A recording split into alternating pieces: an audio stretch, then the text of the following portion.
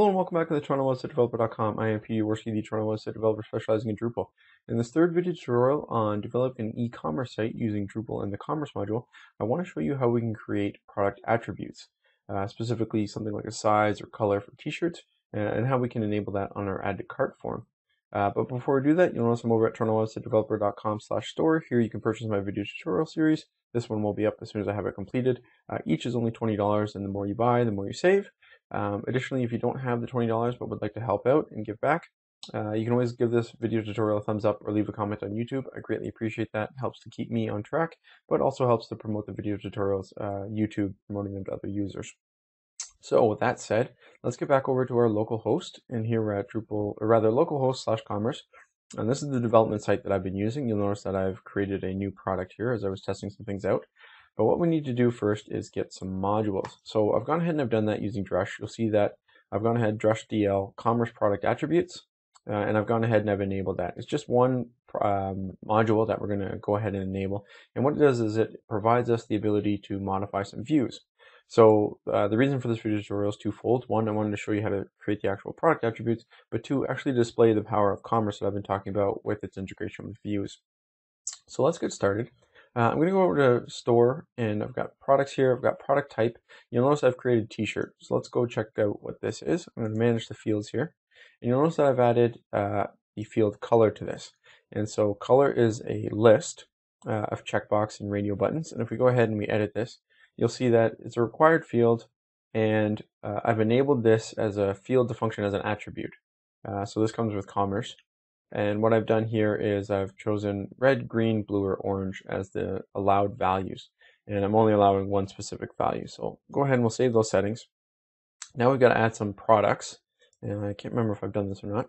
Yeah, so I do have two products. I've got this, uh, they should be named consistently, but they're not. I've got Drupal shirt red and I've got orange Drupal shirt. Um, and both are of the product type t-shirt.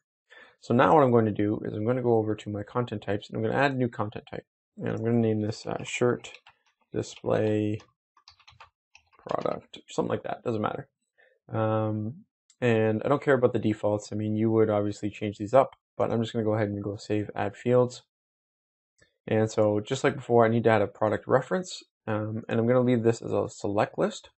And this is just going to be uh, t-shirt, uh, t-shirt, whatever, doesn't matter. Okay, so let's go ahead and save that. Uh, this is going to be a required field. Uh, it's only going to be able to pull in t-shirts. Go ahead, number of values. Um, I think this is what we need to leave it as unlimited. So we'll go ahead and save this setting. Okay, now what we're going to do is we're going to go to content, add content, and I'm going to go to shirt display product. This is what I'm adding, and we have a problem. There we go. So uh, Drupal t-shirt. Uh, buy your own Drupal shirt today. And then here, I'm going to select both of these products to be displayed. So I'm going to go ahead and save this. And now you can see I've got Drupal t-shirt and I've got this color and I can choose red or orange, which is nice. And it actually will update what color I've chosen here. And I can add this to the cart. Now, when I go to add to cart, um, I should probably just remove these so we stay consistent. And sorry, let me remove all of these just so that we are consistent. Let's go back to the home page. Go back to Drupal shirt. add the red one. Go to my cart. And now you can see uh, a little bit anticlimactic. I should have removed this field. I need to save that.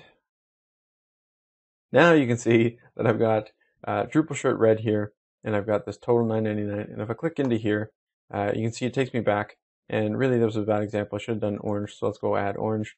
Go back to our cart. And if I click on orange, you'll see that it still says it's red. It takes me back to a product uh, that shows red. It doesn't actually update the attribute here. Um, what I'd like to be able to do is click into orange and have it take me back to the proper field. And that's what the product, uh, commerce product attributes module does. So what we need to do is edit this view, which is a nice thing about Drupal Commerce is that all of uh, its kind of displays are actually integrated with views. So I can go ahead and edit this view real quickly and I can go add. And what I'm going to do is add commerce line item product attributes.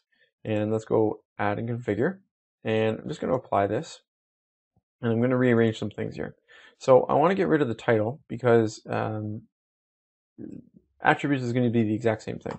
So I'm going to remove that and I'm going to remove put this up here and I'm going to apply that.